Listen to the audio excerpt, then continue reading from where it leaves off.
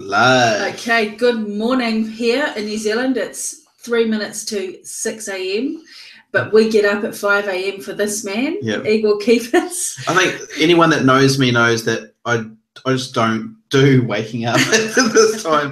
So there's only one guy that I would ever do this for, and that's that's Igor. So, Yeah, yeah. So um, we got into the traffic, um, the traffic industry over two two and a half years ago now, and Igor was the the person that seemed to be coming up on our um, on our radar every time we googled solo ads, and so we contacted this guy, and, and he got on Skype with us. And um, we haven't looked back since. He's been our mentor, and we've modelled ourselves on him. And what a good way! What a good way to go because we've we've become successful in the industry. And, um, you know, two and a half years ago, I would have said, thank you. It's all thanks to Igor, and it is. But we did the work. We got down, we hustled, we sold everything we own. We freaking well, we deserve it because we worked hard, we listened, we took action. And that's um, that's what 98% of people actually don't do in this industry. Yep. And, um, you know, we're going to be talking about um, follow up emails, how you treat your customer as they come in.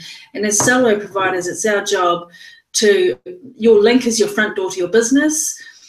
Um, we bring that we bring that customer right up your front door. We open the front door. You're standing at the counter. We introduce them, and then we go. We've done our job. It's up to you now how you treat that person, how you welcome them in, and how you start to get a warm market and convert convert that person into a customer, a lifelong customer in sales. Yep. And that's the thing that lacks so much in this industry is the follow up isn't there, and if it's there, it's not done right or it's not consistent.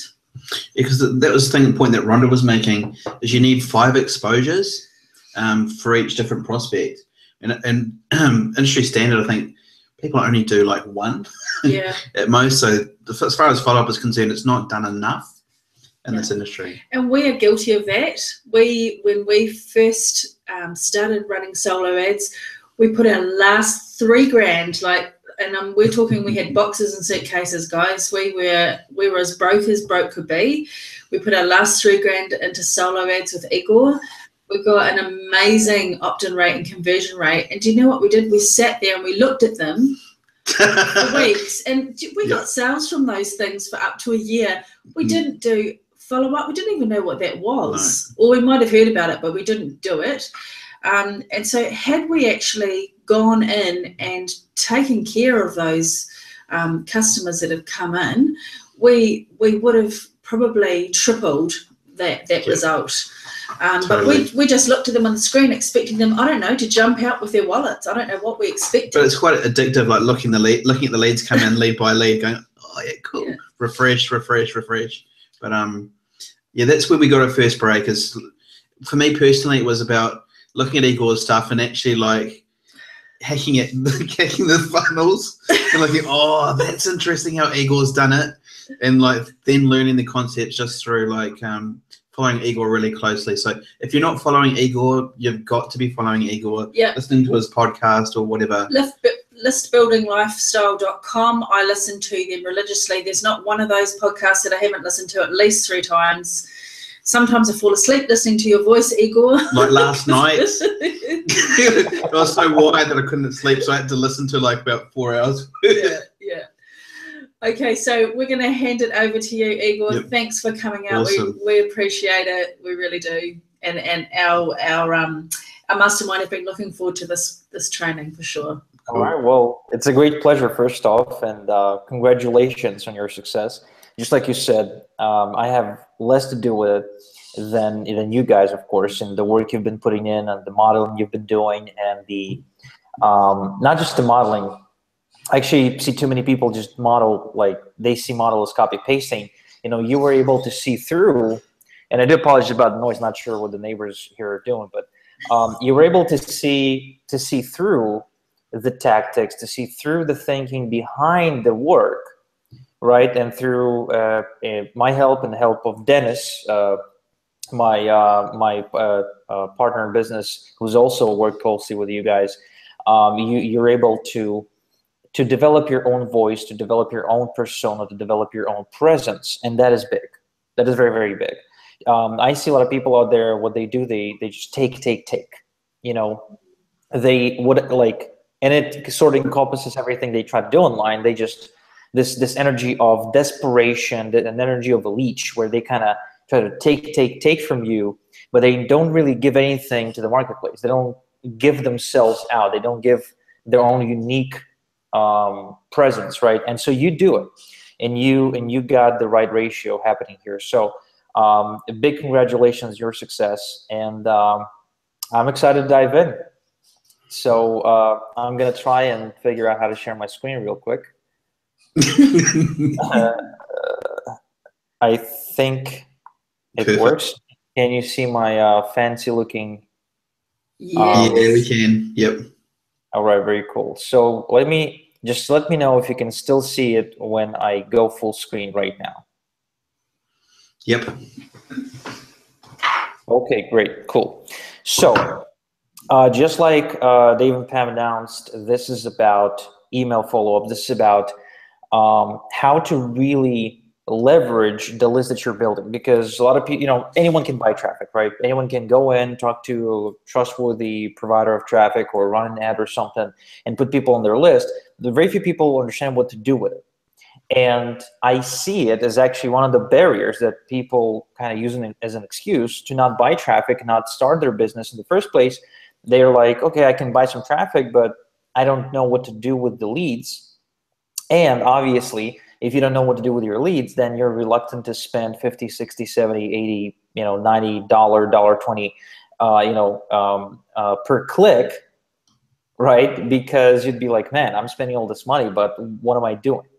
But if you knew that you could get someone on your list for a dollar and you knew exactly how to turn that subscriber on your list to a dollar per month in revenues, then you'd be looking on on paid advertising as something that's like a no-brainer which is how I look at it right now, which is how my students uh, look at it, which is exactly the kind of um, paradigm transformation, uh, paradigm shift that I expect everyone on this call to go through um, by the time we're done.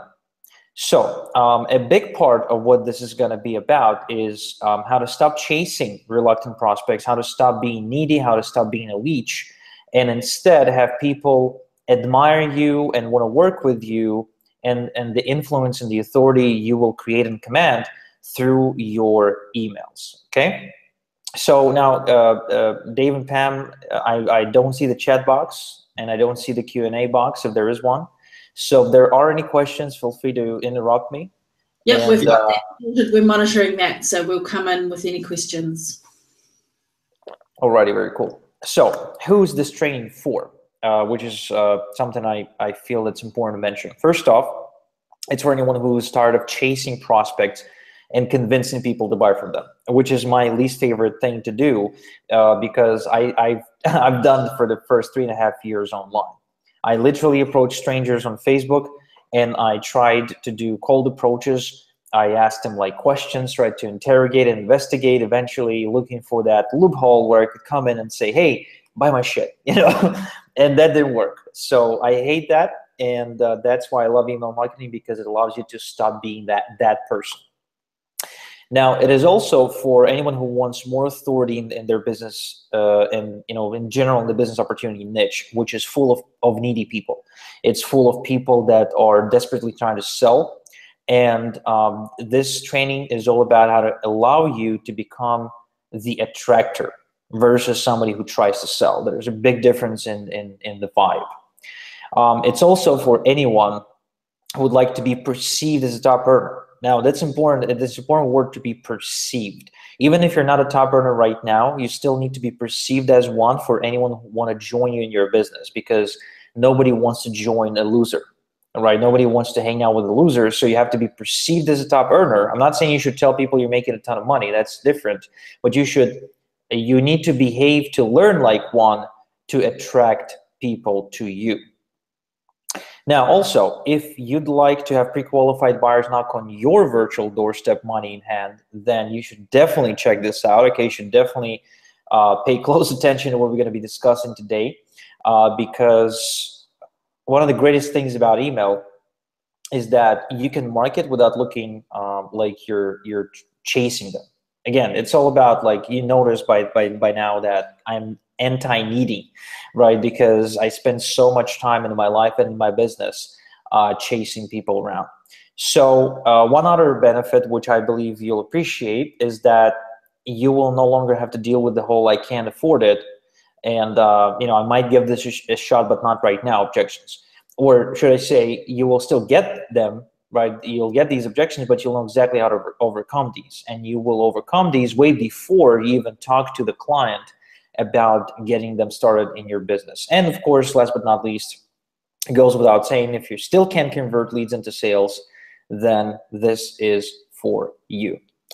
So there's really two ways, okay, to get traffic. Uh, free traffic strategies, which are you know blogging, social media, and so on and so forth, and paid traffic strategies that are solo ads, PPV, and again, like there's a bunch of them. Now, it really doesn't matter which traffic source you're using. What's really important is that you're putting people on your list.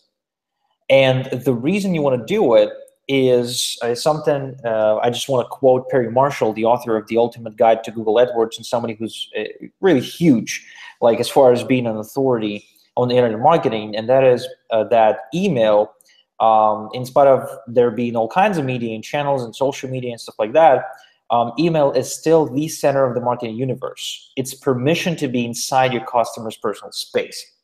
Now, and this is really something big, something really profound, which we take for granted, and we eventually end up ignoring it. But the truth is that anyone who buys anything online uses email.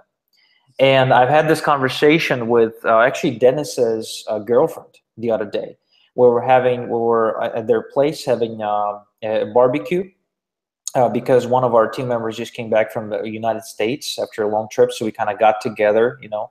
So we were sitting down, having a drink, eating some some tasty chicken, and um, you know we start talking about email. And so his girl, uh, Dennis's girlfriend, she's a, a, YouTuber and an Instagrammer, and like she's a um, basically she's all over social media, right? That's what she's doing um, in the fitness niche, and she says like no one uses email like she's like, no, but everyone's in social media. Email is obsolete. Email is dying.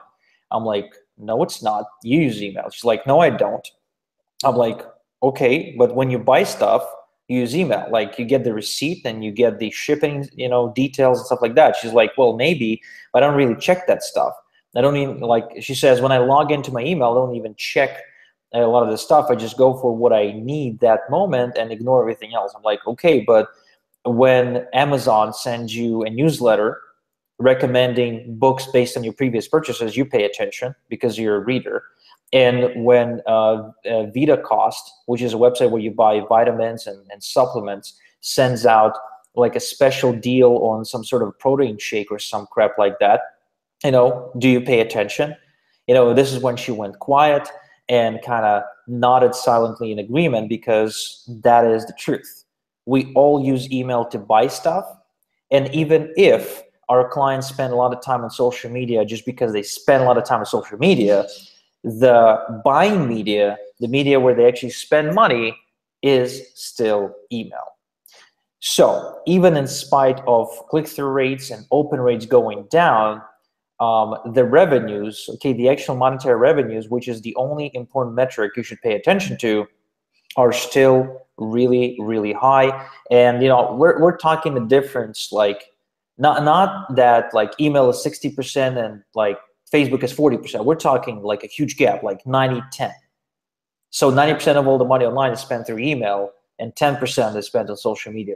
Like that's that's how that's how big the gap is and anyone who's not using email because they believe for some reason email is obsolete is just literally leaving like ridiculous amounts of money on the table. Besides, every single authority uses email.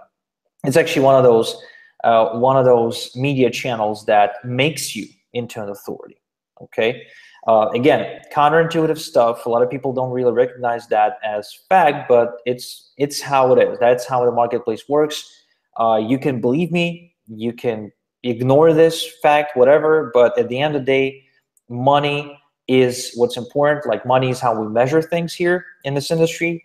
And if you measure your business in likes, you know, uh, all by all means, go ahead and use Facebook.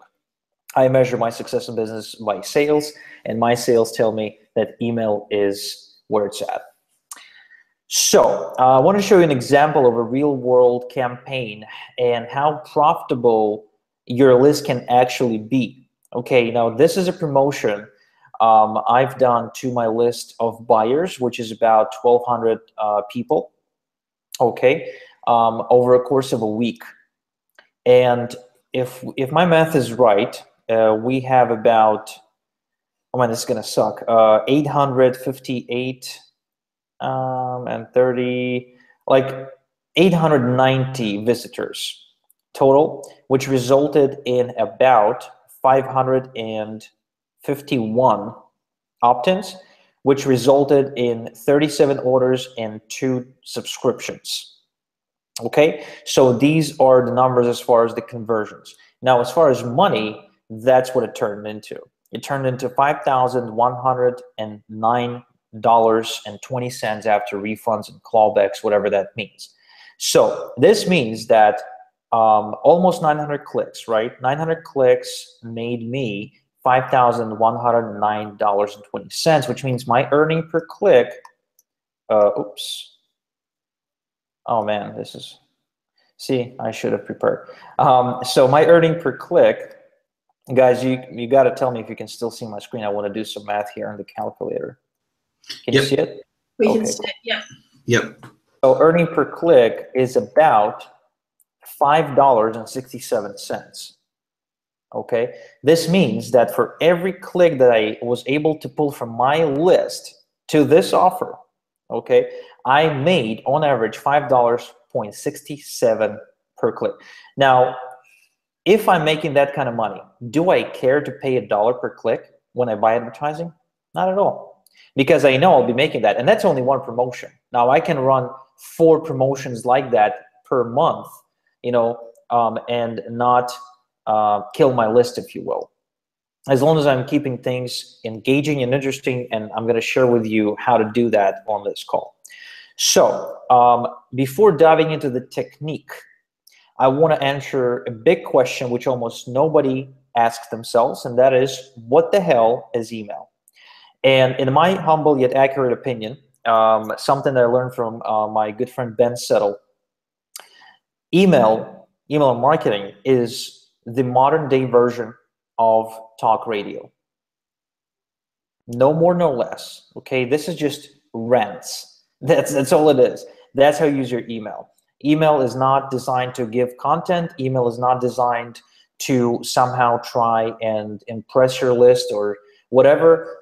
Email is just another version of talk radio, which is basically okay an excuse to keep in touch with your list, to keep in touch with your customers, and to stay on top of their uh, top of their mind, like top of the mind awareness, if you will. And that's how you treat it. Now, as soon as you realize that email is talk radio, you immediately begin to realize the kind of mistakes people really make these days when they try to do email.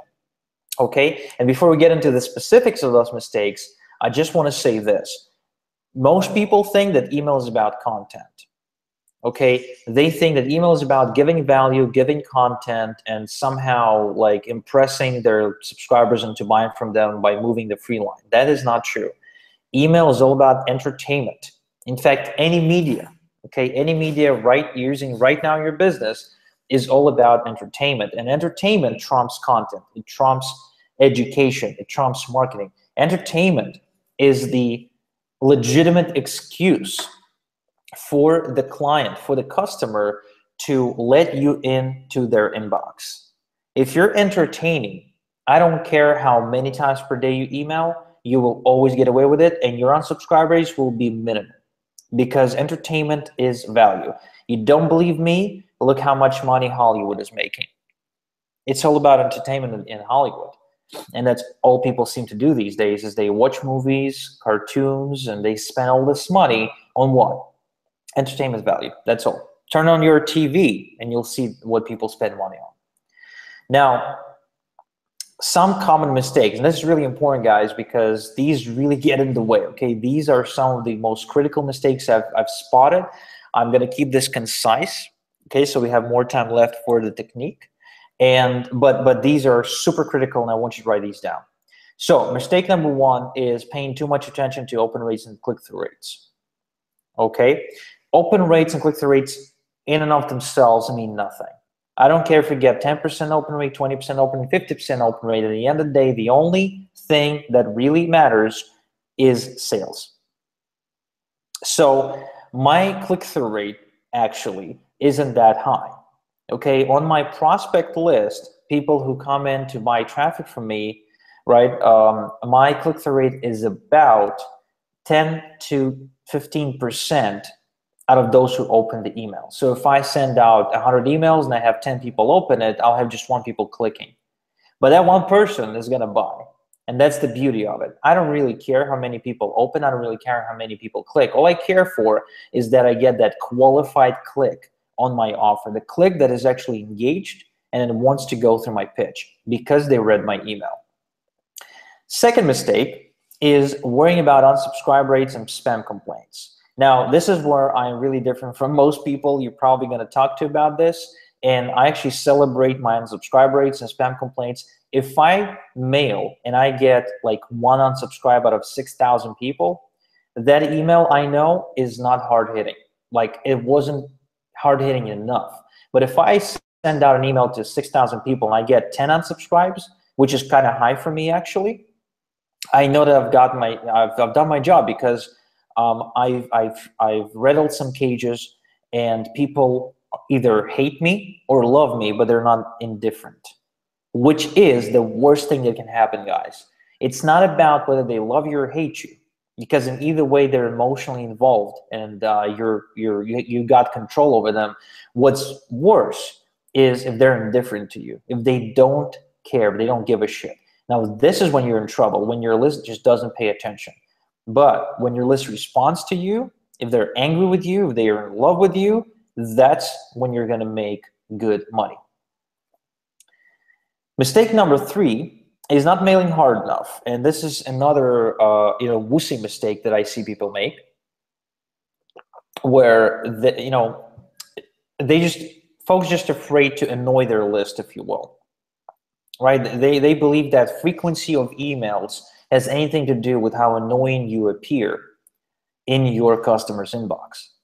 And honestly, it has nothing to do with it. And the reason I know it is because Mailchimp has done a, um, a study Mailchimp is an autoresponder company, so they got access to millions and millions and millions of emails, uh, like and, and megabytes of data.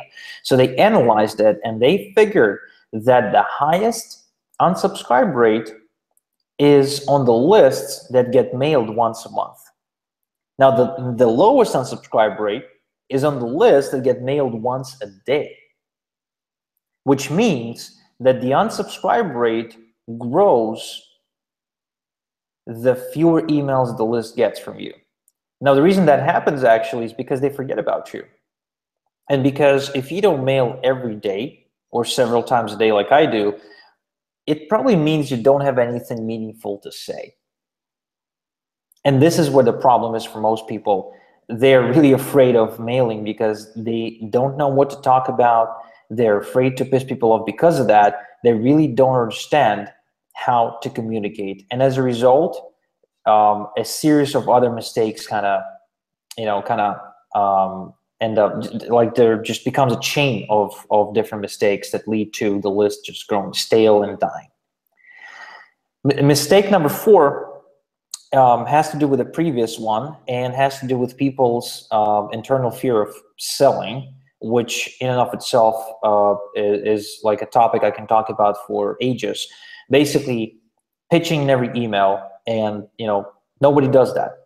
Everyone's afraid of it. They would much rather uh, send out content. I even had a vip client which we ended up parting ways actually who i told them look dude just be entertaining pitch in every email. You'll get away with it. People will appreciate you for it. And just like you guys said you know before we, we began the training you said that people need several exposures to an offer before they will even check it out that's why when you watch TV and there's you know all these commercials, you got the same damn commercial running 15 gazillion times um, uh, in in a single commercial break because they gotta get through the noise, right? They gotta kind of just through repetition they want to kind of get through. So anyway, not pitching every email, you ain't gonna make any sales. Okay, uh, the more doors you knock on, the more door doors will open for you. Just numbers game, and um, almost nobody does that. Everyone's afraid. So I had this client, um, and he's uh, he's been a member of MOBE, he's been a member of Power Network. Now he's a member of Digital Altitude, and he's a good guy. He's actually a fellow Israeli, and you know he's an advanced student. Like he studies Brendon Burchard, and he goes to Tony Robbins seminars, and like he's really like advanced, if you will. Invests a lot into his education. Great action taker, but the one department that he never, um, you know, I guess mastered was email marketing. So he ended up hiring people to write follow-up sequences for him, and those bombed. And so I ended up reviewing that and explained why it bombed.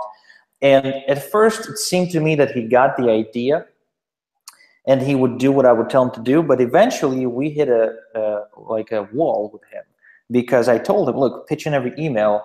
To which he said, "Look, I don't feel, I don't think that's ethical. I don't think that's something I'm supposed to be doing because Brendon Burchard doesn't pitch in every email." right? Something like that. Um, and he said that I'd much rather send people to a webinar because I can disguise that as value and I can soft pitch at the end of the webinar. Now, sure, that's definitely a technique. However, you then be required to do webinars every single freaking day. You know, that's a problem. I don't know about you guys, but getting on the webinar for me is, is a big thing. I don't like work all that hard, you know, and and get in front of audiences every single day. That is just too much for me. So email allows you to just like the proper way of emailing, the one that I'm going to teach you in a bit, allows you to just sit down, write an email in 15 minutes, right, and leave. you know, not not talk to a single soul, not have to convince anyone of anything but simply have this very easygoing communication with your list. Um, no need to disguise anything as value. No need to feel bad about what you're selling. I mean, that in, a, in and of itself, this attitude is bad because if you feel bad about what you're selling, if you don't feel proud about introducing them to your company, why would they even commit to you? Your attitude towards your company and towards money and towards selling, it matters a whole lot. So get comfortable pitching. Okay, that's a big, big thing. And if you don't take anything else away from this training, just this, then I, I'll, I'll be happy. Mistake number five, um, product-focused emails. This is uh, actually one of the most common mistakes I see out there is people basically tell me, Igor, look, I'll write a 10-day sequence, I'll write a seven-day sequence, but like how can I write like 30 emails or 60 emails or eight, one year's worth of, worth of emails? And you tell me that you mail every single day, sometimes several times a day. So how do you come up with stuff to talk about? You know? And the reason they're stuck is because they believe that every single email has to be about the product, which it actually does not have to be about the product at all. The product uh, in my emails is about 10% of the email it always comes in the pitch. It doesn't really, I don't even talk about my product in the body of the email. Rarely, if ever. I'll make an exception sometimes. I'll just mail a straight out pitch. And that's, you know, if it's, if you do it like twice a month or something, that actually works really, really well. You'll see a spike of sales. But for the most part, my, pro my emails are not about my product. And because of that, they work. Okay, because of that, they stand out, and because of that, you don't seem like a needy rookie when mailing your list. And um, number six, my favorite, being boring. That's actually the cardinal sin of marketing in general, not just with email, uh, with your videos, sales letters, webinars, whatever you're doing. If you're boring, you're done. Because remember, entertainment trumps everything else. Education, value, content, entertainment is the key, right? If you're entertaining, they will listen to you and they will actually consume you on a much better level. Um, but if you're boring, man, you're done. You're done. They're going to move on to somebody who has bad content, bad marketing, but who's more entertaining than you are. And that's it. You're done. So, last but not least, giving value. Okay, now uh, what is giving value? It's sending out tutorials. It's uh, giving them hard teaching. It's basically all the boring stuff. Okay, and it's the the real world. It's the email. Um, I would say in the real world that would look like you going out on a date and you putting your date in the pedestal, like showering your date with compliments, uh, being all needy and trying to please, seeking approval, all that stuff that automatically makes other people not want to hang out with you.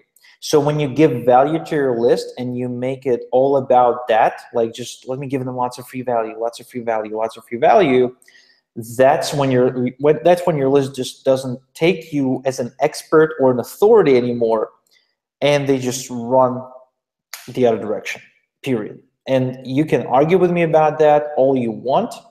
If you give value to your list you are not going to make money. You're going to end up broke and you end up quitting list building like everyone else who attempts this strategy uh, and attempted the strategy before you. So I think it's a good place to uh, to make a break, right, and see if we got any questions. Um, we've got lots of comments. Webinars are an acquired taste. It's not, a, not, not as efficient as this stuff. Keep going, Igor. nice. All right, cool. So um, the number one email problem people experience is summed up in this one sentence I got from a client. I got about a thousand leads on my list, but I don't get, but I don't email them. I don't know what to say. I'm afraid to piss them off, and I'm just afraid they're going to leave my list, right? And I don't want to lose subscribers off my list because I spend all this money and work so hard to get them on the damn list in the first place. So Igor, tell me what do I do? Okay, and again, this comes down to um, the problems we've just discussed. Now, this is a bear, right? I don't, I don't really know bears much. I believe it's a grizzly bear, probably. Um, but here's why I'm showing this to you. You see, I want you to stop thinking like a marketer. I want you to stop thinking like an average boring person. Okay, I want you to start thinking like a hunter. And here's what hunters know that regular people do not. A bear that realizes that it's being chased is extremely dangerous. It is very aggressive and it it basically puts up lots and lots and lots of defenses against the hunter, which means it's really difficult to catch. The bear that is actually very easy to catch relatively to a very you know angry bear um, is a bear that walks into your trap. That is why the bear hunters, the experienced ones, don't chase anybody, okay? They instead lay down honeyed traps and catch the bear by baiting him. Now, this is big, guys. This is really, really big. This is a huge paradigm shift for most of you listening. And if you understand what I'm trying to say right now, you will no longer chase anyone. You will instead lay traps and they will walk in to you. You will know exactly what kind of honey they're looking for, so you will be able to attract people rather than chase them. Okay, so this is a quick uh, passage I pulled out of, a, out of a bear hunting book, and don't ask me why I read bear hunting books. I will not you know waste time explaining. Um, the bear hunter does not chase his prey. A bear that knows it is hunted is nearly impossible to catch and is ferocious if cornered. Instead, the hunter lays traps baited with honey. He does not exhaust himself and risk his life in pursuit. He baits and then he waits. And that is exactly what we're going to do today. We're going to learn how you bait, and then you're just going to wait for them to come to you, period. There's not going to be any more chasing, cajoling, convincing, crying, etc. Okay, that shit's for needy people. You guys deserve better. So here's my bear trap formula. Okay, B plus S WTD plus CTA equals money.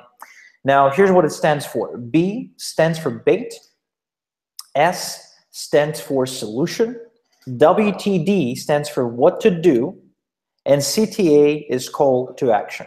And the dollar signs, well, that's cash. So let's get into the first element, which is the bait. First version, first option that you've got, and for like, let me just go back real quick. There's a million types of bait that you can put out for people on your list, okay? A million, a million. Now, I'm gonna share, can you hear this bike? bike? No, I can't, can't hear it at all. Oh, nice. That's uh, a very good headset that I've got. But there's like a bunch of bikers going, you know, these annoying guys that just stand on the, uh, you know, on the on the road, just rum, rum, rum, just for no particular reason.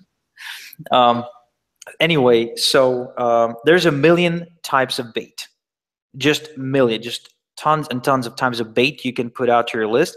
But for the sake of simplicity, and for the sake of actually allowing you guys to do something today I'm going to keep things very simple and give you several types of bait you can use, again, starting today in order to start attracting people on your list and turn them into customers. But you should keep your eye out on all sorts of different types of bait. So the first type is one of my favorite ones is reading a page out of their diary. So you quite literally talk about the very the exact experience, okay, that your subscribers are going through right now and you want to think of the experience that is actually the reason why they want to buy your product in the first place. So if you're selling a business opportunity, that experience might sound something like this.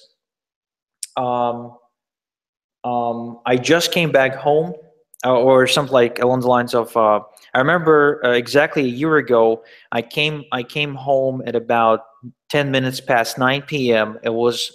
It was the longest work day I've ever had. I worked nine to nine and um, uh, my my because my boss gave me this ridiculously complicated project which he knew I couldn't finish within the um, allocated time frame and he he nevertheless gave it to me because he knew I would not just let it go and I would finish it anyway even if it meant uh, working overtime. And so I was exhausted. But more than anything I was sick and tired of of my job. I did not enjoy it I've been working in that company for five years. I got uh, only one raise three years ago, and that was only just a seven percent raise. I really felt that that I could do better with my life, which is when um, I decided to do something, but I did not know what to do. So again, just giving you like a quick passage, right? So this could be the beginning of an email that reflects the situation or the uh, the exact moment in time that your best prospect is in right now. Now, obviously, you want to know who that best best prospect is, right? Because there's only three types of prospects really that's going to end up on your list. People who are not interested, people who kind of got on the list but they're not interested in what you got to offer. Um, they will be the, the the the fastest ones to unsubscribe and hit the spam button, of course.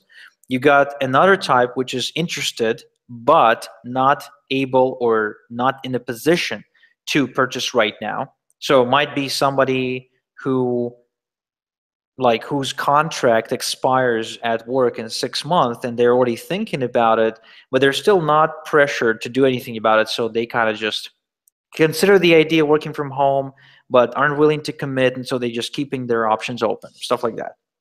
And the third type is somebody who's interested, and who's ready to buy now. That's the person that whose contract expires two weeks from today, right? Or who's like really sick of their job and can't really stand it anymore, who really wants to get out. And now, because there's they're in such pain emotionally, they're willing to do something. So reading a page out of their diary, again, this is a figure of speech, of course, and just um, feeding back their own experience, their own concerns, their own fears to them by doing so, you're instantly gaining rapport. You're instantly gaining their attention too, because that's something that is of interest to them. And you're able to lead them into your offer.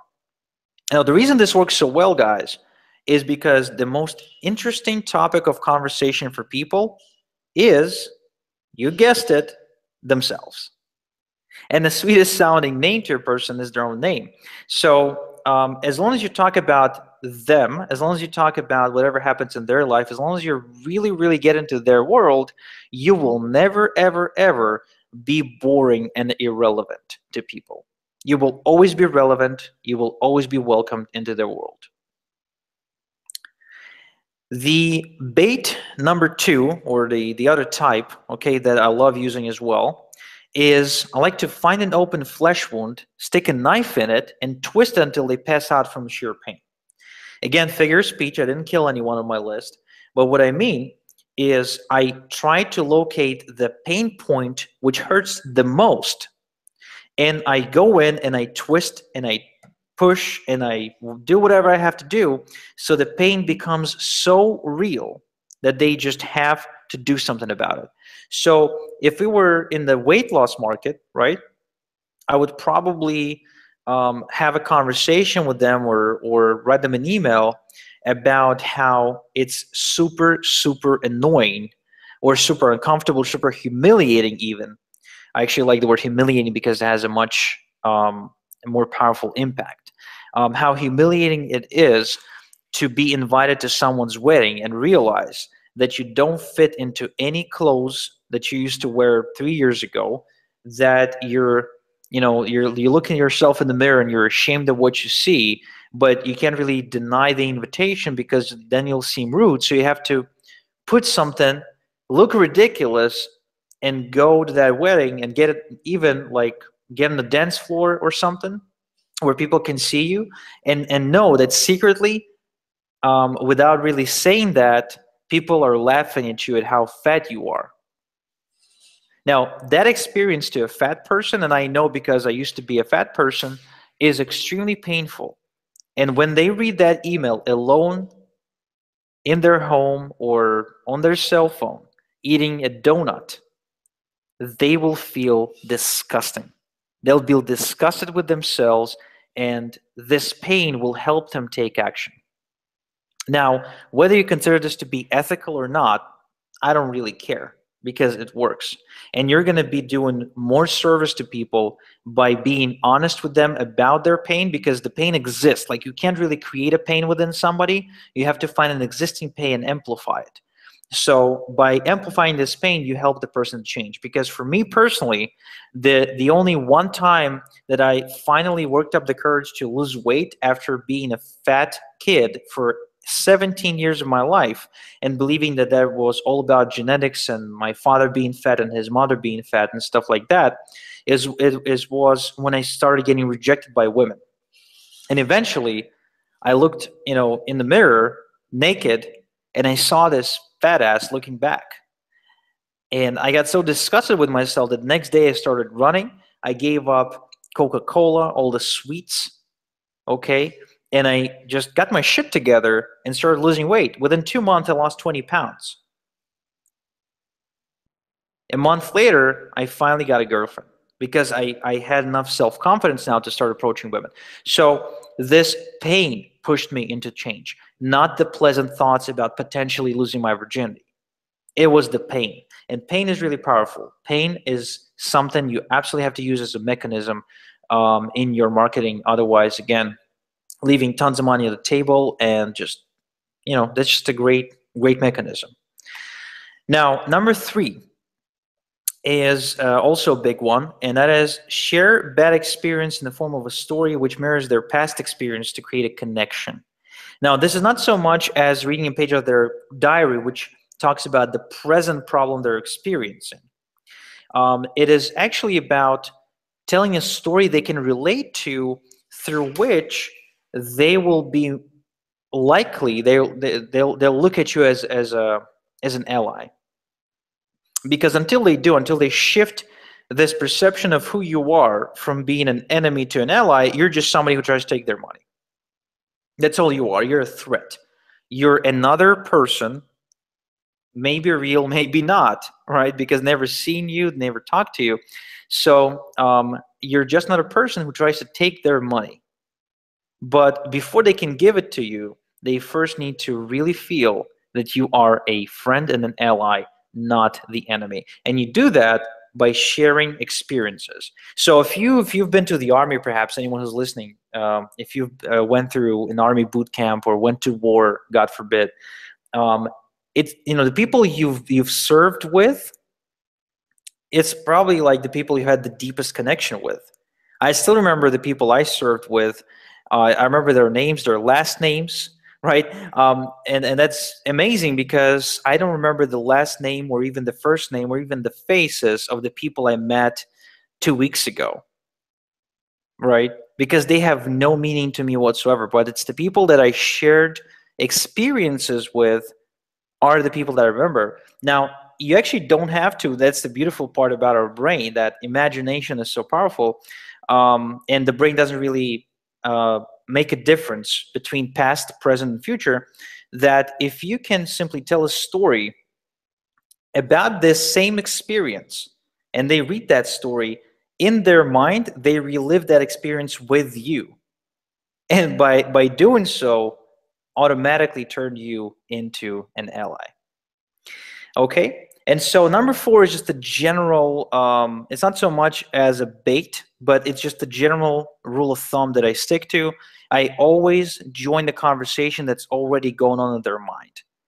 Like if if I want to recruit people that are just getting into online marketing, I will not talk to them about squeeze pages because I know they don't really understand what squeeze pages are. I have to start the conversation way way back.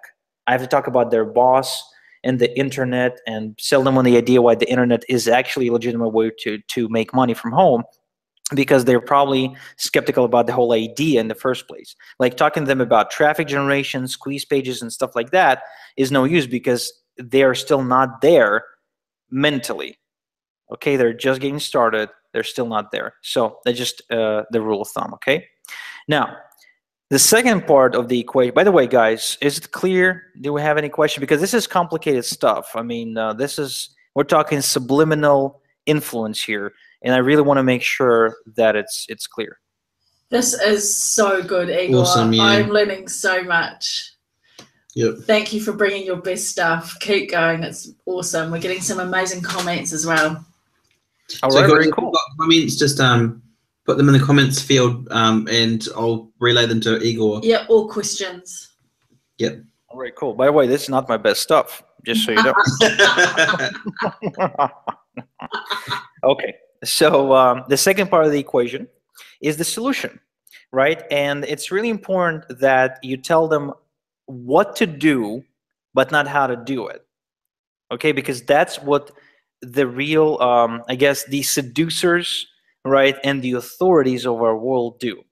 I mean, look at politicians. And I know that nobody wants to be a politician, but politicians have a very difficult job of, you know, making people vote um, and kind of get off their asses and drag their uh, themselves to like you know the voting point or whatever and fill out a like a piece of paper and that's like difficult really difficult to make someone do that that's why you know most people don't like a lot of people don't vote most people do vote but a lot of people don't and most actually wait until the very last moment because they don't want to vote for the wrong person in other words they don't want to vote for the loser so they kind of wait um, because they want to make a mistake, if you will, which of course is stupid. But my point is, it's not easy to make someone vote. And what politicians do, like what Obama did, for example, is um, he never spoke about the very specific, the very specifics of his plan to make the changes. Right? He just said the change is possible.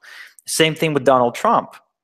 Donald Trump, not even once did he go into the very intricate detail of his plan to change America, to make it great again. He just gave vague, uh, general statements like, let's build a wall, or let's move all the insurance companies to Delaware, or let's ban you know Muslims and stuff like that. Like he did not go into the specifics. He always kept things at the 10,000 foot view. Now, at first, it might seem outrageous me telling you to be more like Donald Trump because the guy is crazy.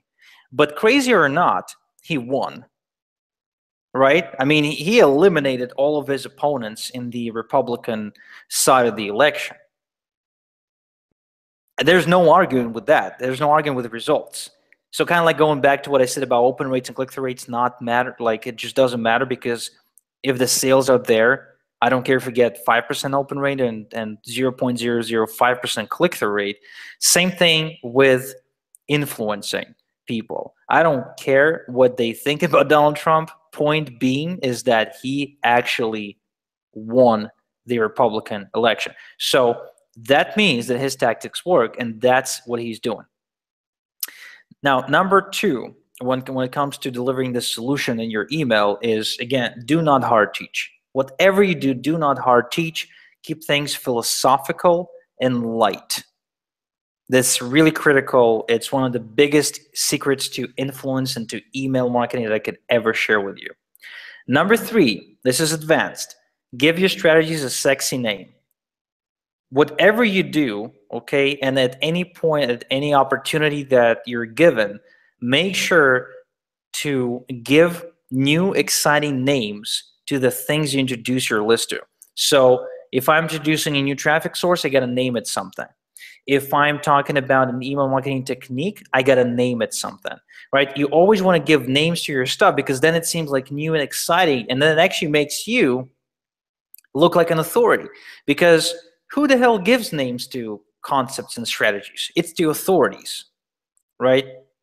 Like there's the Nobel Prize. So the prize by the name of somebody. So there's a name to the prize. There is the Ronaldinho uh, Elastico, you know, soccer move, whatever. Like it's Dennis's favorite, so I remember it. Like he gave it a name, right? So there's always an anything that's cool. There's a name. So if you want for your stuff to be perceived as cool, give it a sexy name. Number four, mock your enemies. Always, always have a bunch of enemies that you can position in front of you in front of yourself and your audience because by having the common enemy you guys are united. Because when we have an enemy we always seek um, allies and that's just the human nature right? So if you're again if you're promoting a business opportunity your enemy is the nasty upline that recruited you into a program and never did anything to help you if you are selling traffic like I do, your enemy, and you're actually going to see an example of this in a minute, your enemy is shady traffic providers and, and fake traffic pushers and stuff like that. Uh, or maybe it's Facebook ads or whatever. You know what I mean? Like uh, if you're selling email marketing advice, uh, you must preach against social media. And you see me do it a lot, by the way. Now, incidentally, this actually, I believe in what I'm saying, but also I'm, I'm very clear about who the enemy is because that's how I create allies and allegiance with my audience. So never underestimate the power of this tactic. Um, number five, always leave them wanting more. Never, ever, ever make it seem that you gave them everything because the moment they feel like they've satiated you, they're gone. They're gonna. It's like you're like a tampon. Okay, I know it doesn't sound very nice, but that's who you are, and they and they wanna they wanna like um, get the most out of it. Okay, soak it up as much as possible, and the moment it's done, it's done. Like they just throw you out. So you always want to be useful and needed through leaving them wanting more. Okay, very important. Never, never, ever, ever make it seem like you gave them your best stuff and you're done. Now, CTA is actually the call to action. Now, it sounds very simple, right? Just make sure you actually have a link there and tell them go and buy my shit. But no, almost nobody does it, so you know it's worth mentioning. So, first rule about uh, calls to action is you want to spell out exactly what to do and what's going to happen after they take the desired action. Okay, exactly what they're supposed to do and what's going to happen after they take the desired action because people won't do anything they can't imagine themselves doing first. So you won't buy a car until you imagine yourself driving the damn car. So you want them to join your company um, and you want them to go and fill out the order form and get started. Make sure you tell them what to do and what's going to happen after they get started. Okay. Number two, make sure all your links are clickable because they will not copy and paste. They will not copy and paste, I guarantee it. So make sure all your like if you, there's a link to click, it's easily clickable with a single click of their mouth, uh, their mouse. Um, number three, explain why they must take action now. Okay, because people will delay taking action forever.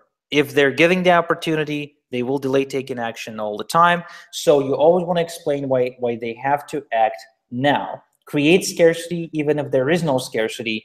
Create a legitimate reason why they have to act now and not not later because people will always always delay taking action.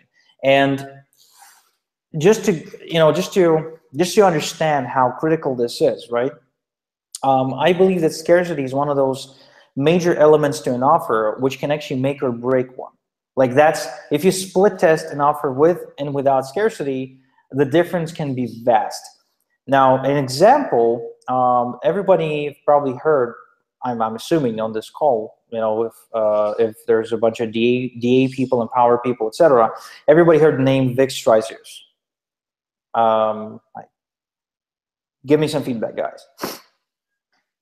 I'm pretty sure that 99% of people in this mastermind Should know know who Vic Vic, is. And if you don't, Okay. you need to Google him. You just All right. slip yourself with a wet fish. Yeah, so Vic's Hello. pretty big. And LOL at the tampon, we couldn't stop laughing. um, so yeah, I'm changing my company into Tampon Marketing LLC. So um, Vic is is pretty big. Vic Strizheus is one of the biggest marketers out there, uh, really big on traffic and conversion. And so uh, several months ago, he launched a company called Project Breakthrough, which was a sales funnel where they they get you in at a free trial or free sign up or something, and they promise to help you make your first commission online in the in the next 14 days. And one of the things in that offer was the upsell to $300 per month VIP membership, which is awesome, right? That was a great high value offer. However, the conversions on that offer were really, really low. Now, at first, nobody understood why, but eventually they figured it out because they basically said, look, if you want to make a little bit of money, stick to the free membership, but if you want to make a lot of money fast, you want to join the VIP program because you get access, you become like eligible for higher commissions and you get more training, you get some private masterminding and stuff like that. However, the response, the I guess the silent response that they've got is that almost everybody who got offered this $300 upsell thought to themselves, you know what, sounds great, but I, I, I think I want to see how much money I can make with the free version first before I commit. And if I see any money come in, I'll definitely upgrade. Now, let me translate this for you if you're new in this industry. Later means never. No matter how much your prospects will tell you that they're going to join later, that they're going to just wait for the money to come in, that circumstances will change, or that they, they will try it for a little bit and they will upgrade, etc. That's not going to happen okay? You have to put in the deadline. It's either they're taking action or the opportunity is gone period. Now if you can create a scarcity a legitimate scarcity as in like join before tomorrow night or it's done or it's like you miss out on the offer then you want to build the scarcity inside the prospect's mind i used to do it on coaching calls where i would basically go so deep into their pain points that um, the scarcity was automatic and I didn't have to put in any scarcity. But again, the, my point is this they have to know why they have to take action right now, okay? And do not for a second allow yourself to believe that they will know themselves why. You always have to spell it out. Now, another great thing you could do, and you should do, is to address a last minute objection. So last minute objections are always about money, timing, and weird concerns.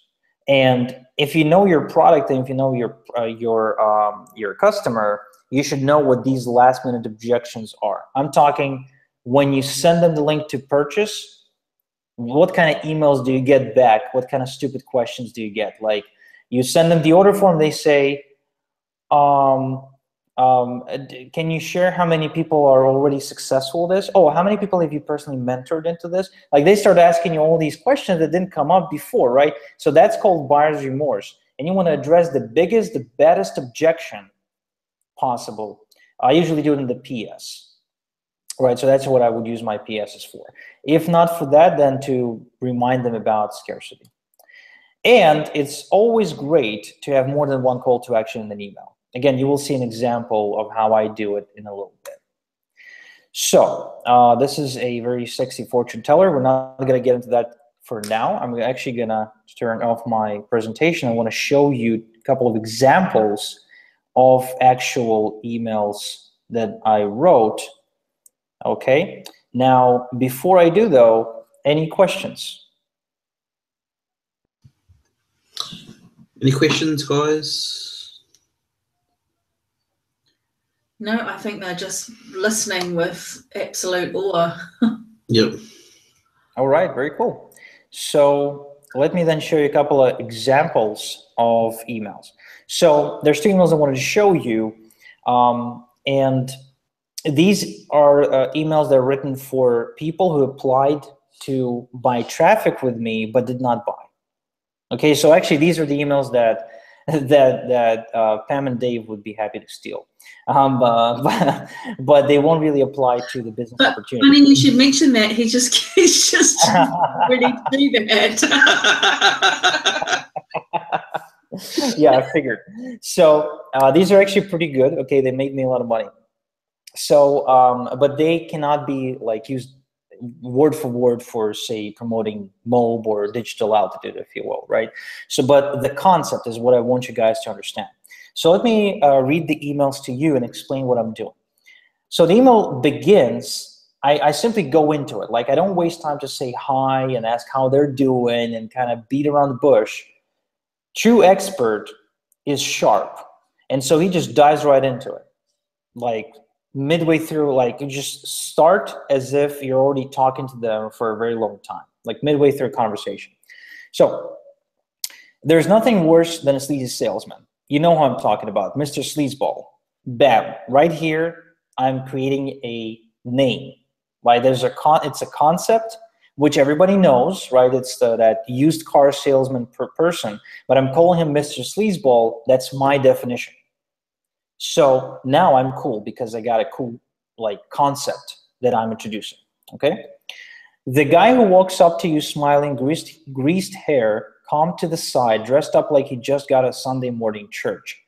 He seems friendly enough, but when you tell him to bug off, he acts like he didn't hear you. He goes right in on with his pitch grabbing you by the emotional arm and twisting until it hurts so much that you either buy his product just to get him off your hair or you scream at him and threaten to call the cops. Now, this is a very common experience that almost every single person can relate to. It is very relatable. Almost everybody knows what I'm talking about. And by reliving this experience with me, we're bonding. That's a bond, okay? So now there's trust happening here. I don't blame good old sleazeboy though. He has to be that way to put food on the table because he's selling to cold leads. But you don't, Poppy. Now notice that I'm um, calling my list names. Okay, I'm almost playing with my list like my list is my little sister.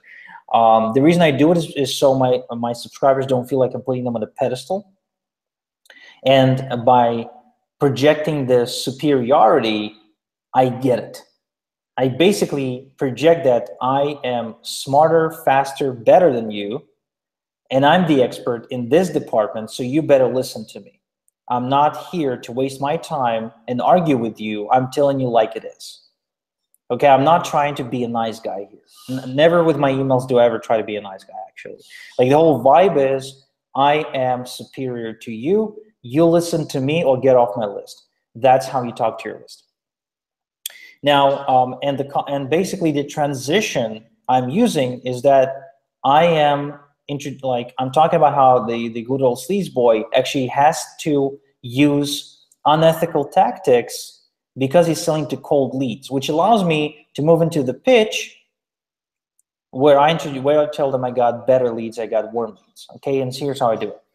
You can avoid all the rejection and social pressure and use my new traffic to market to people who actually want your stuff. No tricking, manipulating, or conning necessary. Now that's a benefit. That's a big benefit. That's the desired, um, uh, the desired outcome that I know my list wants is to have a traffic source that is just excited to jump on, you know, on whatever it is that they're selling. check this. I've cherry picked thousands of hot buyers have already proved um, uh, that they want your stuff. No arm twisting necessary. Get started risk free here. P.S. Oh, stop sleazebullying prospects. It's it's no fun. It takes all the fun out of the marketing. Get open-minded prospects who actually want to have a conversation with you. So um, basically, what I'm doing in the pitch, I'm flat out stating what they want, and I say this is where you go to get it. Same thing in the PS. Um, I just say, look, if you're a sleazebullying prospect right now, if you try to convince and cajole people, stop doing it. There's a better way to do it. There's an easy way to do it. Go here to find out more. Right. So notice that I pretty much just don't talk about my product besides like two or three lines in the entire email. I make my my website do the talking for the product. The email is designed specifically to trigger emotions, create bonding, and get them primed to the click. Okay. Now, another thing that it's concern I get from people is that they say, I can't write emails because I'm not a writer, um, I'm not creative and shit like that. Well, you don't need to be because if you notice, this email it breaks many of the writing rules, if you will. I did not go to any writing school or to writing workshop. Um, I just write like I would talk. So if you guys can talk, you can write great emails. Okay? So any questions regarding this particular example? Nope. Um, is it a good time to ask about videos in your emails, Igor? How often do you use that and how effective do you think that is with open rates and things? Well, uh, videos don't really influence the open rates, but if you're good on video, you can increase your sales. Because if you're good on video and you can create a report using video, um, it's another way for them to bond with you. So a powerful email that links to a powerful video uh, it creates this um, it's like a double whammy right? So you will make more sales but not everybody is good on video. Not everyone wants to get on video. In fact most people i talk to say that they don't like getting on video especially the older generation. They say you know we're not we're not that type right it's not our thing our generation doesn't like to get on video but the younger generation uh, they like it so if if you're willing to put in like a good good 100 hours into shooting videos to practice and perfect your presence on video and, and, and basically feel more natural then yeah absolutely link your emails to video because that will increase your conversions Great. Cool. Now the question I've got is, how significant is the PS? Because you just brought up, um, you bring up your biggest objection in the PS. Um, and also you bring up scarcity in the PS as well. So how significant is that in an email? Well, it, it can drive a bunch of sales forward. Um, I remember doing a, a, launch to my list and the PS um, in the final pressure email, like where I said, look, the offer shutting down, the PS was about if you're stuck in a public location like an airport and you can't really buy this right now, please send me an email to this address and I'll save you a copy even if you buy this after the offer shuts down. Right? So I would, this kind of implies scarcity, but at the same time, it, it addresses an objection, which is I can't really buy, I want to buy this, but I can't buy this right now because I'm traveling, I'm, I'm mid-air over Atlanta, you know, and I've got crappy Wi-Fi.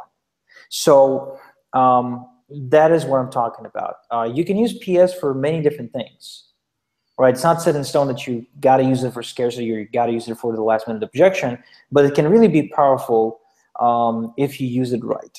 So again, you can also put the link in the PS, can't you? Yeah, you always want to put a link in the PS. If you use the PS, then you might as well put a link. Like I got a link here in the PS. So there's two calls to action uh, in this particular email. The other email I'm going to show you has actually that has like four calls to action. So is there an ideal number of calls to action, or is it just? Um, I mostly see three, like mainly three in your emails. Yeah, that's that's bullshit, man. That's just, there's no particular number for anything. Um, many of my emails have just one call to action, and yeah. sometimes that works better. And you know, less is more concept. But sometimes I'll have like six. So it, it really it really depends on how organic it seems So my my calls to action here are re- they just fit like they're just sequential. Um, in the other email I'm going to show you in a minute, you'll see how I'm in, integrating calls to action into the content of the email, so it's more seamless. Cool, cool, cool. Alrighty, cool. So that's one. So this is another one. Uh, the the subject line of this email is the worst eBay purchase ever. Now, at first, it doesn't seem like it has anything to do with buying traffic, right? And that's good because it kind of it's like a pattern interrupt throws them off their game. So they go in because of curiosity. So here's what I'm what I'm uh, telling them. Well, what's the worst eBay purchase you've ever made? I still have emotional scars from this one. When I was 14, I was browsing around on eBay one day and I found it. The buy that would make me the king of the neighborhood. 16 airsoft guns for a measly $50. Of course, I bought it. So many guns for so little money. Uh, so uh, by, by this point, I bring them into their childhood, right? So anyone can relate to a, a boy, a kid that buys an airsoft gun. He instantly becomes the coolest kid in the block. Like that's that's not something you got to explain to people. That's just no brainer. So many guns for so little money. I thought about um, see, I even got a, a spelling mistake here, two about. I thought about all the endless fun my friends and I would have with those guns, but when I when it arrived, I almost threw a fit. You could hardly even call them airsoft guns. They were so small that they could have been baby dolls accessories, Barbie dolls, again, spelling mistake, Barbie doll accessories. They could barely shoot 20 feet. They jammed every time you cocked them, worthless pieces of crap. My little 14 year old heart was crushed. It was years worth of, of savings for me, um, all for a big load of cheap Chinese plastic crap. What does that have to do with traffic? So, a couple of things I've done here. Up until this point, what I've done is I've described an experience of disappointment, which is a very common experience when it comes to traffic, right? Almost anyone who ever considered to buy traffic or bought traffic can relate to an experience of buying something, right? And feeling disappointed with their purchase, which is one of the main reasons why people don't buy things in the first place. They're afraid of being disappointed. Okay, that's why, you know, I didn't want to get married a long time. Like I was really afraid of being disappointed. I'm just kidding. I hope my wife doesn't watch the recording. Um, so what what I've done is I created basically an experience an emotional experience. It doesn't matter that it has nothing to do with traffic. It just creates the emotional experience. That's all. And then I'm using a question, which is a really powerful tool, as a transition, which is basically an obvious question. What the hell does this have to do with traffic? So I spark the, the emotions I wanted, and I now lead them down to what I want to sell. So what does this have to do with traffic? Everything. Here's what this means to you. Lots of stuff isn't always better before you blow your money on lots of something, make sure it's worth more than a pile of dirt. Now, notice that this is sound advice. However, there is no specifics. Right? There is no hard teaching happening here. It's just freaking common sense. That's all it is. Kind of like, you know, um, a proverb or something. Not all that glitter is gold or whatever. So that's how you want to talk to your list in philosophical advice, not hard teaching advice. When someone offers you lots of high quality clicks for a bargain price, watch out.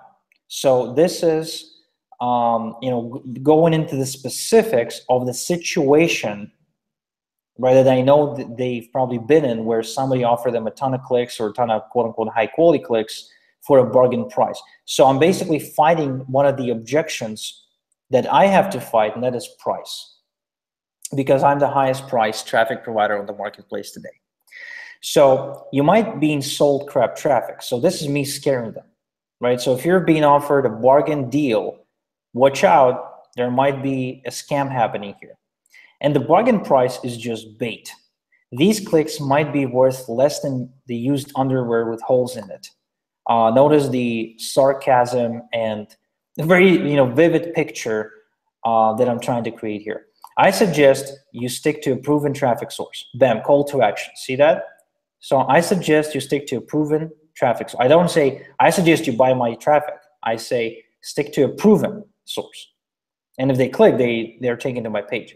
Because in this space, you get what you pay for. Again, common sense, everyone agrees with that. Right? Everybody knows the rule that you get what you pay for. And if you go for cheap things, then you know you you're likely to get scammed.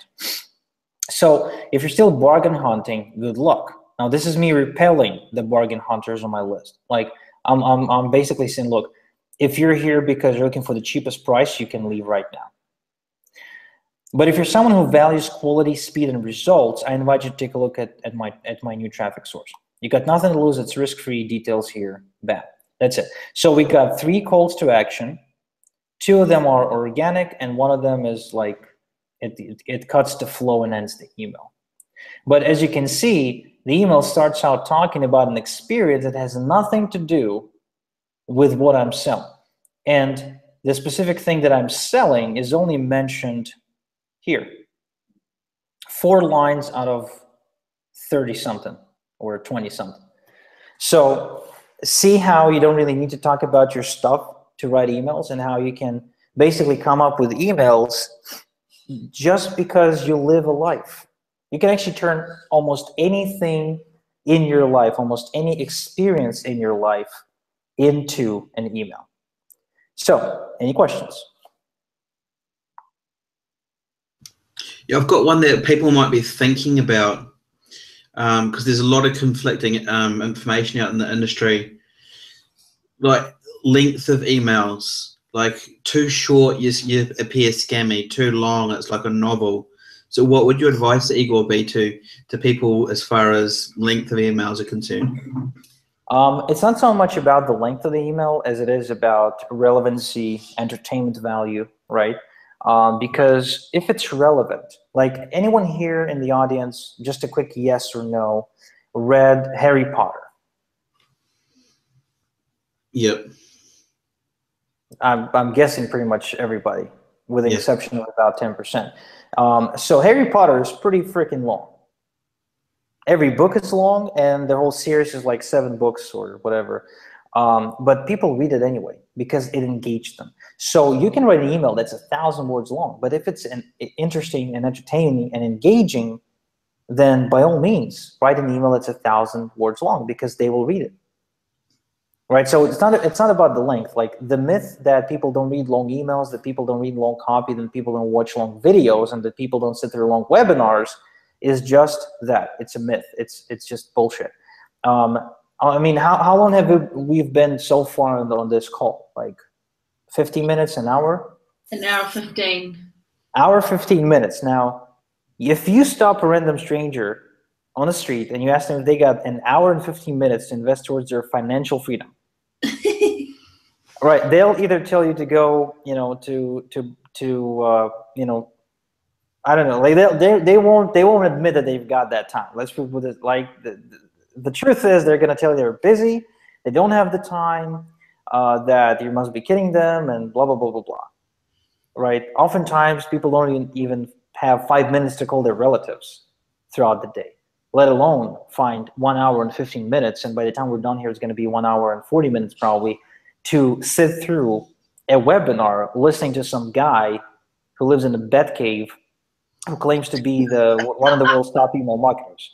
But because this training is something that has value, that has relevance, and that hopefully has entertainment value to the audience, the audience will sit through it. If you notice, by the way, the tendency right now in Hollywood is that the movies are becoming longer and longer. The latest Transformers movie was like three hours long. And it's cool. I didn't mind that. I actually enjoyed it. So um, don't think of it in terms of length always think of it in terms of am I relevant? Am I entertaining? These are the two primary criteria which will determine whether or not they will give you attention. Perfect. Okay, so anyone's going to ask me about why there's a, a sexy fortune teller on the screen? why is there a sexy fortune teller? Well, uh, great question, Dave. Um, the, the reason there's a sexy fortune teller on screen is because that's oftentimes what people ask me to do, to tell fortunes. Um, you know, they ask me, Igor, if I buy a thousand clicks, how many sales will I make? Or if I write 10 emails, if I have a 10 day email sequence, how many like how many sales will I make in the first 10 days with my emails? Now, obviously, I don't have a crystal ball that tells the future and I don't know. But here's what I can tell you. Because people get on your list at different times and different stages of their, of their life, and like we discussed a couple minutes ago, there's three, three different types of people. Um, different types of people will take different amount of time to commit to a purchase. And the biggest thing to understand, to realize here is that seduction, or in other words, converting somebody from a cold prospect, from a reader, from somebody who just kind of got interested in your stuff and got on your list because you seemed cool, into a buyer, right? That is not a process of jumping off a cliff. Most people think it's something that you do like when you invite, you know, you basically bring them to the uh, the top of the mountain, right? And you just push them off and off they go flying down, uh, kind of falling down. Um, but the reality is it's a greased slide. So you have to basically, you, kind of put them on a, on a greased slide and they kind of slide down bit by bit. And the length of the slide is different for every person. So for example, for me, this, um, this length, right, is anywhere between 20 to um, 180 days.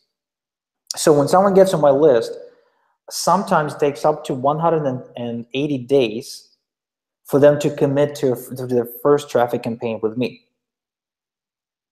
Okay, and this is big. Like I remember one lady uh, messaging me, I think it was about a year ago. She responded to one of the emails we sent out, and she said, Igor, I've been on your list for eight months. I've been getting your daily emails and reading those emails for eight freaking months and I've been delaying to take action. But today's email got me. You know, this was the email that really tipped me off, um, and I decided to start. I went to the website and I purchased 200 clicks. Uh, here's my link. Let's run. So eight months worth of emails with me, and I'm like the the the most famous person associated with the word solo ads. That got to tell you something, right? So if you're just starting out, don't expect for you to make like windfalls right away, right? You have to win them over, and you do it through um, through consistency of your emails, okay? Through the daily emails, like I said, emailing daily is important. Pitching every email and doing it consistently, not skipping a single day, because re repetition breeds trust you do have to expose your prospect to your offer multiple times before they even consider looking at it. Okay. So a lot of times people think that, oh, I sent them an email, they didn't respond, so they looked at the offer, they rejected the offer. But the reality is they didn't even see the offer. Like they didn't even bother looking at it. They didn't even bother giving it attention because it probably seemed like something they've already seen before. So you have to really hammer it until they see it. And so again, it can take anywhere like can take five days, five hours, five months, five weeks. You just don't know. And that's important. That's why it's important to keep mailing every single day because it accumulates. And another thing that I discovered actually, this this is something I didn't know. Um, a lot of people go back and read your old emails. And an email you sent out like a month ago gets them today for some reason. You know what I mean? Like it just it's just crazy, but that's what happens. So that's as far as how soon should I expect sales. And I think that's about it. So uh, yeah. Cool. I just got a question from um, Des, and he's I think he's referring to follow up series. Um, rather than long email series, do you prefer instead like regular broadcasts? Yes, um, I actually treat all my emails as um, not not connected uh, broadcasts. So some people write like what's called the soap opera sequence, Andrew Chaperon style, right, where everything's connected. You open a bunch of loops, and you really you really just go Hollywood, you know, screenwriter style, and you try to create something like a uh, like a TV show where there's like episodes, you know, uh, and, and each email is an episode. Uh, but I don't do it like that. It's I find it to be way too complicated. I am not a screenwriter, and um, you know I just prefer to blast emails unrelated to each other, which also allows me to change my sequence at any point very easily. And as soon as I find a broadcast that really killed it for me, I can immediately push it into my sequence. Yeah. Yeah. So it just for me, it's just no brainer. Yep. Also, um, a lot. I know a lot of our audience are thinking, well, you know, you're you're Igor, like you know this stuff. You've got experience in, with this stuff. What is the the shortcut to success when it comes to copywriting? Like formulating that skill set that you can engage with pros, prospects on that level. What what would your advice be to like the up and coming marketer that wants to enhance their copywriting skill set? You know, um, here's what I would say. First off, it's a really it's a really bad question because there's no one shortcut, and anyone who wants to master copywriting will eventually have to come to grips uh, with this fact that there's no such thing as one thing that's that's a shortcut or one thing that makes or breaks somebody. If there's always it's like it's it's a really complicated world, if you will, right? But we as human beings, you know, we're part of our brain, part of what we do is we generalize and summarize. So we we automatically look for that one thing. That's just the nature. However, here's what I would say. Um, and that's something that I only learned recently, and I didn't even realize it. So I was unconscious about it. Um, usually, whenever we do not get the desired response, the the the initial desire we have is to say, "Oh, fuck that person," right? They're assholes because they didn't listen to me and because they didn't buy my stuff and stuff like that. And that's normal. That's a normal response. However, that's a tire kicker, rookie, loser response because we each have a map. Like we, we, we look at this world through our own set of eyes. And instead of seeing the world as it is, we, we see uh, what we want to see. Like we see the map of the world through our own perception. And so the only way to achieve um, to get a response from somebody is to communicate is to communicate with them through their map if you will like if you if you come in with your map and you give them your map they'd be like no that's the wrong map i don't even connect with that and they will automatically not listen to you not because you're a bad person because you're selling something bad not because you're not a skilled copywriter but simply because like on on a, on a on a cellular level their brain cannot comprehend it. There's just not something they can, they can accept. However, if you're able, and that's by the way why a lot of rejection happens, right? Why why a lot of the offers have, you know get rejected. However, if you're able to communicate with your ideal prospect on on their level, meaning that you can identify how they see this world, how how what kind of map they use to navigate it, and you speak to them in that language, this is when you achieve high response. So if you get rejected constantly, you don't need to change the marketplace per se. You actually have to change the map which you give them. Like the communication that you put out to the marketplace, change that to suit their map. This is when you'll be able to get better response. And this really comes down to the concept, which basically says rather than trying to find a reason or blame right why someone rejected you or someone why you weren't able to achieve a connection with somebody instead accept that you are responsible for that connection. And the reason it doesn't happen is because you communicated in a way which did not resonate with the person you tried communicating with. That's it. Right. So so it, it doesn't quite answer that question because that's not just one thing, but it is one of the fundamental rules to effective communication, which leads to, of course, sales. Yeah. So basically, if you if you study people, um, that's the key because it's about understanding how people think and getting inside the mind of your prospect and then engaging them in that conversation. Yeah, it is exactly that. It is about being able to walk a mile in their shoes and join the conversation that's already happening in their mind. The moment you can do that, that's it. So, uh, for example, like mocking the enemy, right? Uh, establishing a common enemy is one of those things.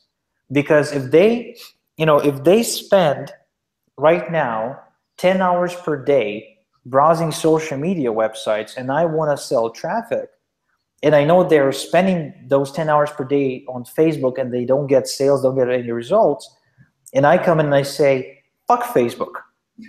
Facebook sucks. Facebook is the biggest waste of time since MySpace. Facebook is a distraction tool which you've been sold as a sales tool, which it really isn't.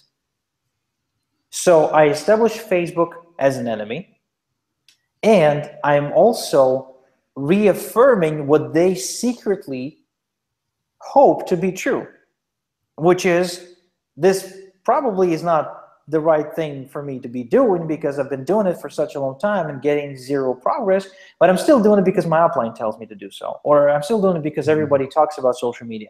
So you come in and you kind of you become an ally because you say things they basically were waiting for someone to say. Mm. Right. It's that whole me too. And then you're offering them the solution, which is solo ads. Well, in my case, yeah. Now, Yeah. in your case, if you're, let's just say you got like a course that teaches them how to do YouTube ads or something.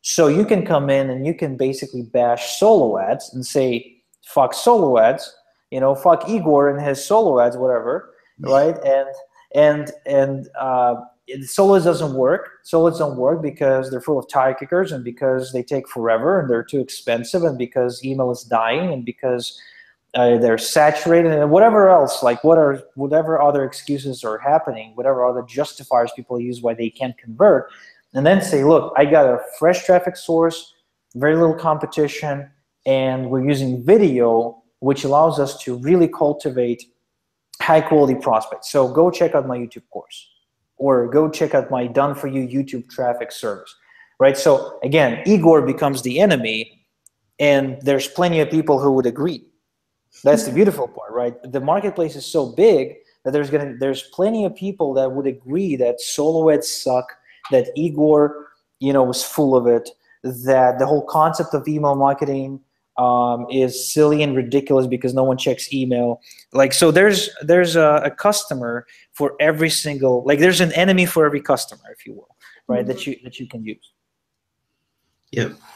An- Another question, Igor, is like you often uh, alliterate that the turning point in your business was when you you t- um, deviated away from the can- the mechanics of the of uh, online business, and you concentrated on persuasion and influ- influence Yep. um, as part of your messaging. Like how a lot of people don't like a lot of people on this call um, don't understand that. So how important, how how critical is that um, moving forward for you?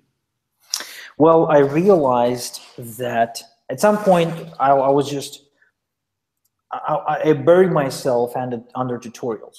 Like I wanted to know everything about how to like code an HTML website and how to do a WordPress install and how to build like a cool looking image in Photoshop. Like I focused on all the stuff that I could outsource for pennies instead of focusing on the stuff that was really high dollar value activity, which is copywriting, offer creation, uh, marketplace understanding, JVs, and so on. So it really comes down to the fact that every single dollar you're going to make in this industry will come from a from a, a different another human being. That because we're working with with people, so you will only make as as much money as your as your um, as, as the people you're you're able to move like or, or to the extent that you're able to move people. So if you're skilled at building wordpress websites but you're unskilled in communication you're done. You might as well quit. And you, because you can't really outsource the communication part uh, because you have to become the face of your own brand of your own company of your own like business now, the funny part is that, and this is like really counterintuitive because that's how we're conditioned since we're grown up in, in, in this society, no matter which country you live in, by the way.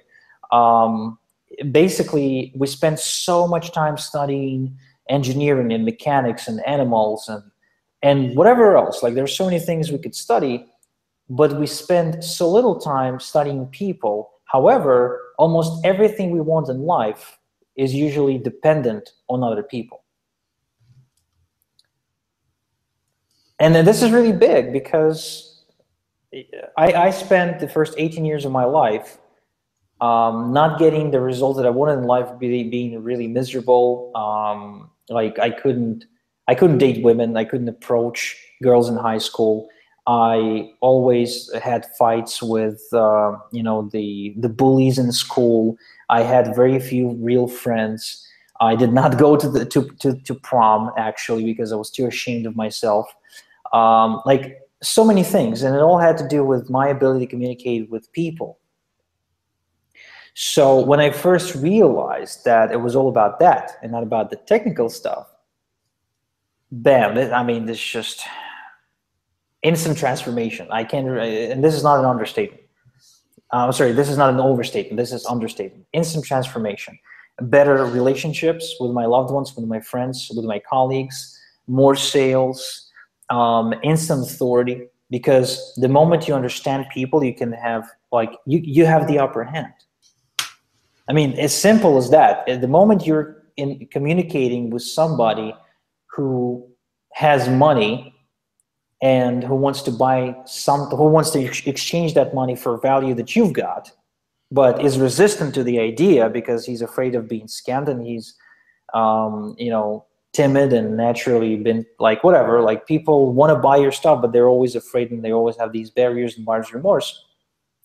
So the moment you're you're communicating with somebody and you're a skilled communicator, not only will you be able to um, approach the situation right, make the right judgment calls, and kind of convey your message right, but you also be commu- like conveying this um, confidence and certainty onto your prospect, who will actually feel good buying from you.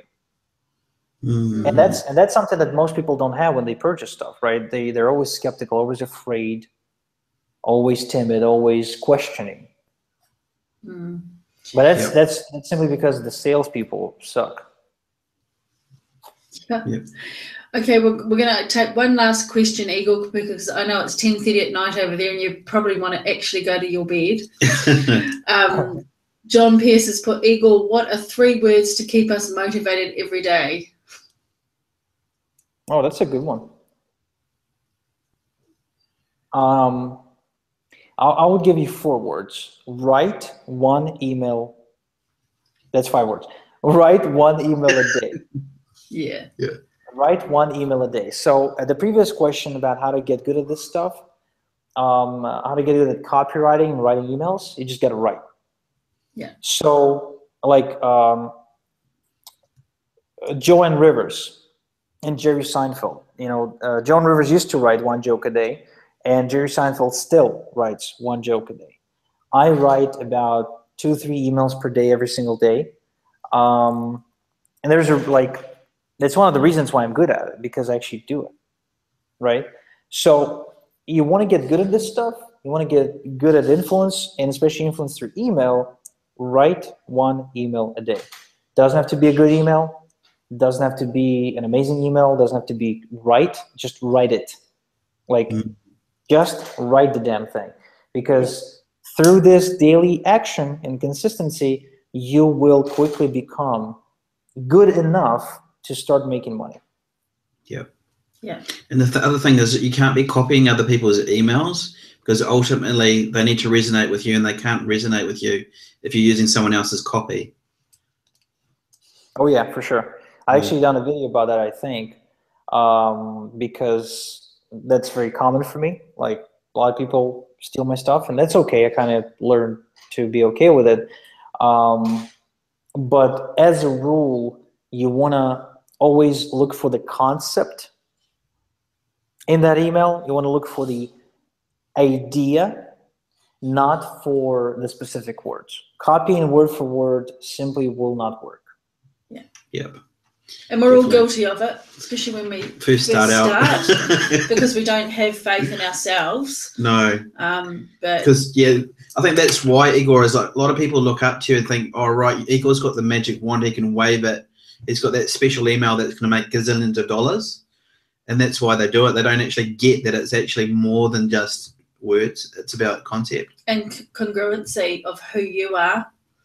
mm. and relationships, obviously. Mm.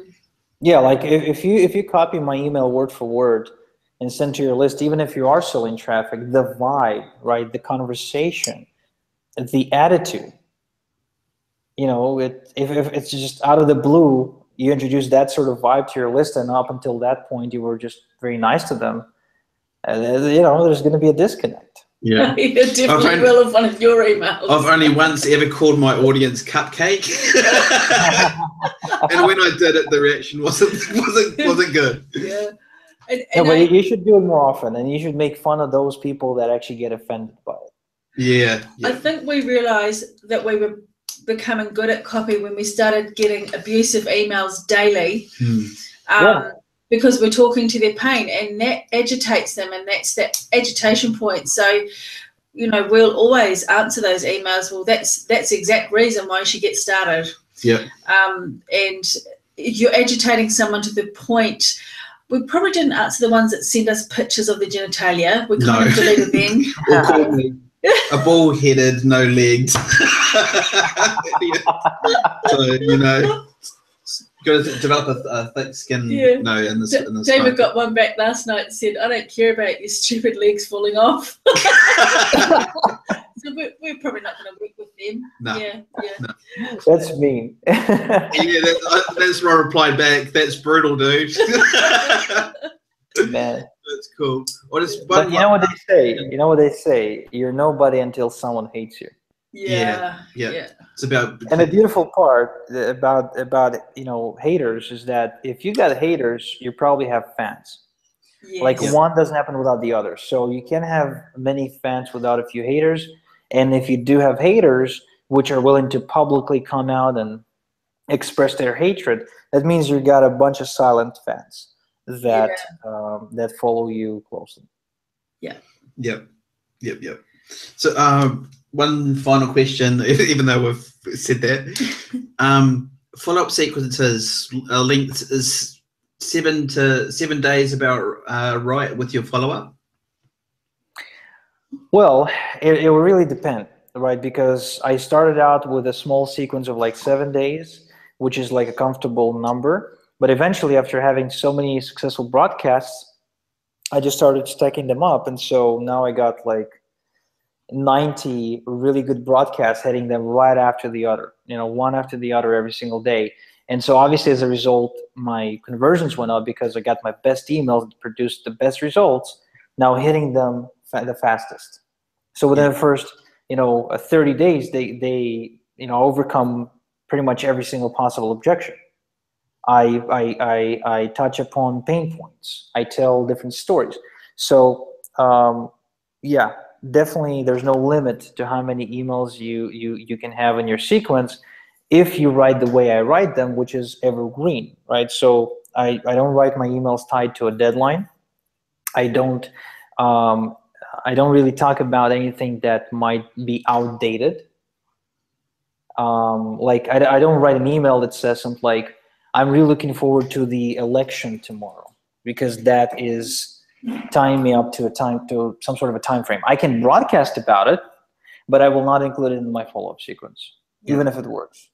Yeah. So that, that answers that question, guys, is what to write as far as content is concerned. So go through your broadcast list and look for what creates the, the most opens, the most click throughs, and the best results. And then, uh, like you were saying, put them in your follow up sequence. Yeah. Yeah. So that's a Yeah. that's a massive tip. Massive. Okay, well, we could listen to you all Yeah. night long, but we, we, we're conscious that it's late over Yeah. there. And uh, we just want to thank you for coming out. That was amazing. We're going to watch that again. Yeah, pre- appreciate really, really, really appreciate that Igor for coming out and taking time to speak with our people. Yeah. And if you haven't listened to any of Igor's podcasts, then you are missing out on so much value. So go to iTunes and type in listbuildinglifestyle.com. And there'll be, I think there's, we're up to 38 now. I sound a little bit obsessive, but I am. Um, Yeah. And he's got some amazing stuff that you should just listen to in the background. If you are any sort of email marketer, then you've got to listen to this stuff. So, so feel free to Igor just to put a link in the in the comments or whatever, um, linking it to your your podcast. All right, one sec. I'm just I gotta find this thing. I know it's on an external page here, uh, but yeah, you guys can just visit um, a list lifestyle listbuildinglifestyleshow.com forward slash blog. Uh, or just like Pam said, you can get on iTunes and type in Igor Kheifets or list building lifestyle, and it should pop up. But I'm gonna And and you'll Um, see the infotaining thing at its best. It's like a, the framework of it. Okay, so I just I just posted into uh, the chat thing. Okay. Um, and also, you do daily Facebook videos, and if people aren't tuning into those, they are incredible. And my absolute favourite Yep. was the other day when you were saying, "Well, you might be sitting there thinking, well, fuck you, Igor, you don't know me. Well, fuck you, I know But no, you. and that is actually so love that. true because like you know your prospect Yeah. you know their pain and that is so true and i i just love that Yeah. it's You know, but, favorite. but a good I made a copywriter, good video too. a good copywriter actually does that. A good copywriter has to know their client or their prospect better than the prospect knows themselves because um, we, we tend to numb the pain, don't we? Right. Mhm. Uh, I, I had this um, great great example. My wife just got on with a with a fitness trainer, so she finally worked up the courage to do it. And uh, she's the kind of person that never wants help from anybody. Like she would go into a a store, and the lady would approach and she's like, "Oh, can I help you? Uh, You know, do you need any help?" And she's like, "No, no, I don't need any help. You know, just leave me alone. I'm I'm cool." So so she's like that, and so I finally was able to convince her that she has zero clue what she's doing when it comes to you know fitness, and that she need an expert that not only consults on diet but also on exercise to kind of get rid of the fat in certain places and kind of you know tighten things up a little bit. It a So- territory to go as a husband so anyway, um, the, on the second day of dieting, um, she uh, we were invited to uh, we were invited to a barbecue over at a friend's house, and uh, it was his birthday, and um, I told her, "Oh, great! There's going to be steaks." My, my my friend's name is Stas, and, and he like he's a great cook, so he's like, "Oh, Stas making steaks," and he's like, he does like maybe once a year. I'm like, yeah, you know. She's like, "But I can't eat steak." I'm like, well, too bad for you, you know.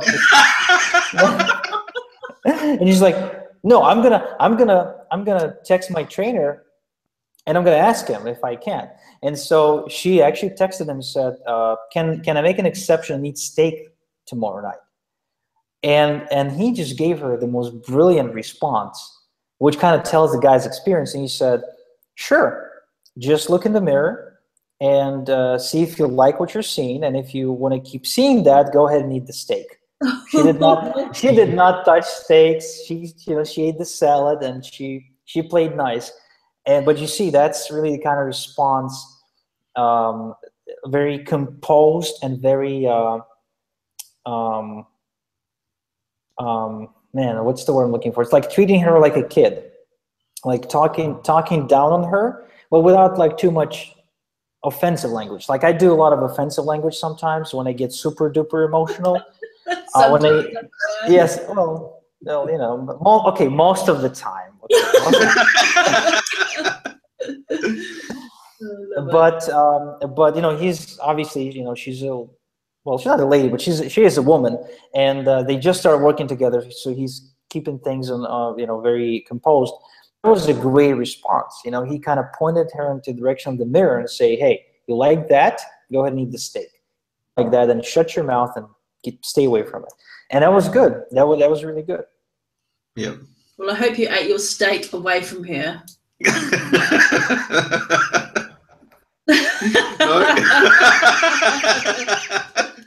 oh, okay we're going to turn Awesome, this man. we're going to turn this off now so um Cool. thanks for tuning in guys Awesome, and we'll appreciate catch- you. catch you later